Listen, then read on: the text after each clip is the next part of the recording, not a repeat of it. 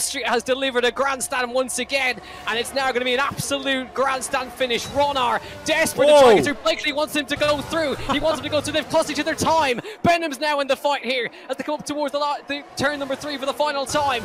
Blakeley under pressure. Here comes Thomas Ronhaar to the outside of turn number three for the final time. Can he make it work on the outside line? Into the next corner. He outbreaks Blakeley, leaves him room. Oh. Watch for Jake Benham now on the power as they come down towards turn number four. It's all getting very, very tight. Blakeley leaves him space on the outside line. Ronhaar is still there. Blakeley's got the battery to work with though and hangs on into turn four. And Blakeley now back to the lead of the race. Ronhaar desperate to get through.